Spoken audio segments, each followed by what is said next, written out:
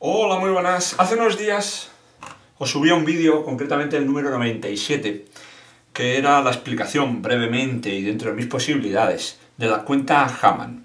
Bueno, la cuenta Haman os la expliqué porque la ejecución del juego que os llevo a cabo a continuación requiere dicha cuenta. Así que yo la realizaré dentro de mis posibilidades, pero que a vosotros os quede claro y si lo deseáis realizar, lo podréis ejecutar con mi breve explicación del juego que a continuación os, muestro. Bueno, requiere un juego de cartas eh, tipo ESP, como estáis observando, las que se componen de símbolos. Son cinco símbolos, círculo, el, orden es círculo, eh, cruz, ondas, cuadrado y estrella.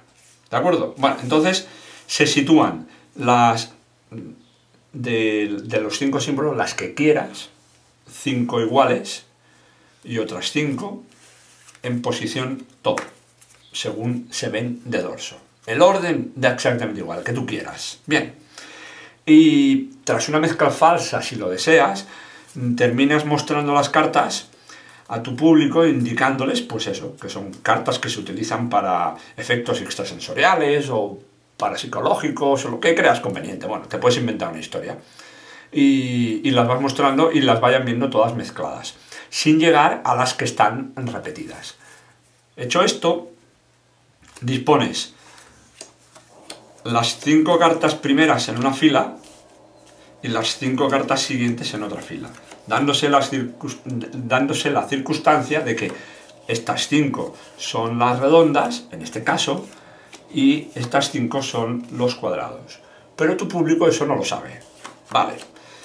Hecho esto, le indicas que de las 10 a un espectador, que de las 10 cartas, elija una. Puedes utilizar algún objeto a modo talismán o como objeto de la suerte, lo que sea, da exactamente igual. Bien, yo voy a utilizar un dado. Y el espectador sitúa en lo alto de una de las cartas, mientras está en de dorso, su talismán. Le dices que lo puede cambiar tantas veces como lo quiere, como quiera. Si quiere utilizar esta, si quiere utilizar esta, si quiere utilizar esta. da exactamente igual coja la que coja, no va a haber variación en el juego, porque siempre estamos utilizando cartas repetidas. Vale, pues eh, hecho esto, en el momento que él seleccione, lo que vamos a hacer va a ser recoger las cartas en función de en qué lugar ha dejado o ha, dejado su talismán o, ha elegido el naipe.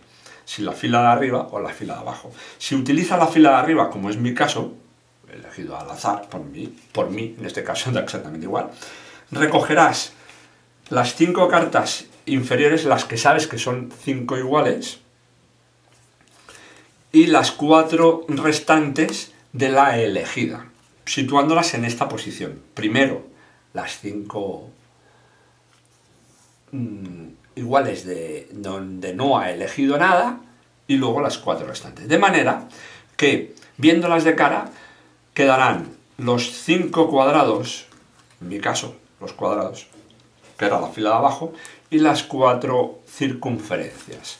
Y aquí procedes a la realización de la cuenta Haman. Así que tu público le dirás, fíjate tú, importante, lo he dicho antes pero os lo recuerdo, al depositar los naipes, antes sería muy importante que realizaras una cuenta, una mezcla falsa, para que Mm, bueno, la, gente, el público crea que la repetición de cartas es de una forma mágica, se ha producido no por casualidad, sino porque así se ha llevado a cabo el efecto.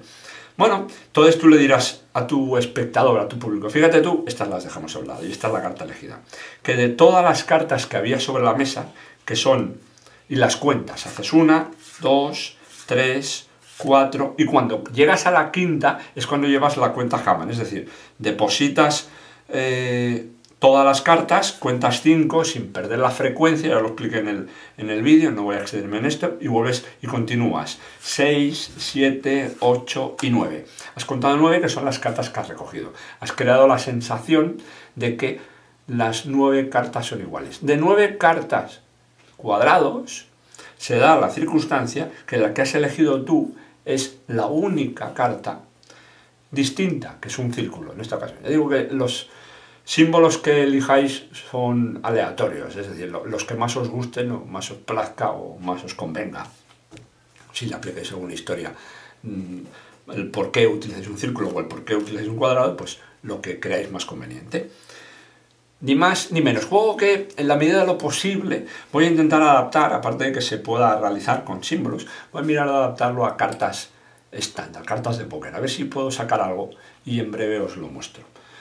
Nada más, muchas gracias, hasta el próximo vídeo, que lo disfrutéis.